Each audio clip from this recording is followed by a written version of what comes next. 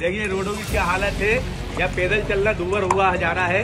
हम घोड़े पे बैठ के प्रचार कर रहे हैं। माता जी ध्यान रखिएगा। दादागिरी को क्या खिलेगा? कमल खिलेगा कमल खिलेगा। दादागिरी को क्या खिलेगा? कमल खिलेगा कमल खिलेगा। दीदी जिंदाबाद। दीदी जिंदाबाद।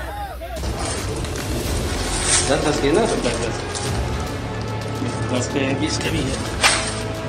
मतलब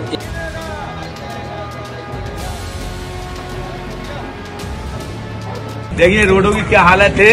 या पैदल चलना दूर हुआ जा रहा है। हम घोड़े पे बैठ के प्रचार कर रहे हैं। माता जी ध्यान रखिएगा। ये तिरतालीस साल का विकास है। ये देखिए चलिए भैया आगे। मुझे मजबूरन घोड़े पे बैठना पड़ा। रोडों की हालत इतनी खराब है इधर लीजिए चलिए। बहुत बहुत धन्यवाद। भैया ध्यान रखिएगा।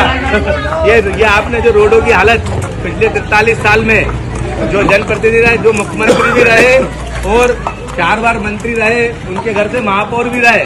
उसके बाद भी क्षेत्र का विकास दिखाइए भैया, वीडियो में विकास। विकास देखिए, क्या हालत हो गई सड़कों की। मैं आप सबसे निवेदन करना चाहता हूँ कि अब आपको सैतालीस साल के जो ज़ीरो विकास है, उसका जवाब देना पड़ेगा। ये पूरे क्षेत्र में सड़क नहीं है, नाली नहीं है। अभी हम एक नाले पे गए वहाँ नाला नहीं है। स्थितियाँ बहुत खराब है।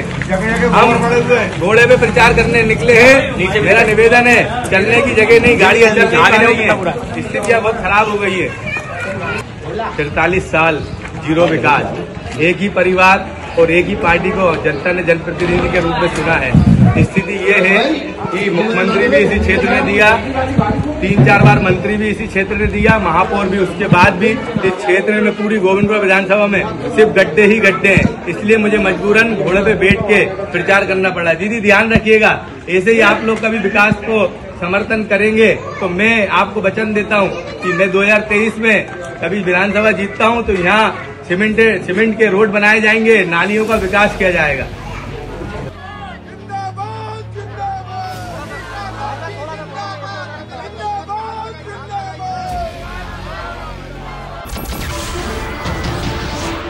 नमस्कार, मैं हूँ मानक गुप्ता।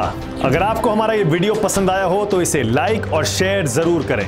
और हाँ हमें सब्सक्राइब और फॉलो करना ना भूलें, ताकि आप देश और दुनिया की कोई खबर मिस ना करें। तो जुड़े रहिए हमारे साथ और देखते रहिए न्यूज़ 24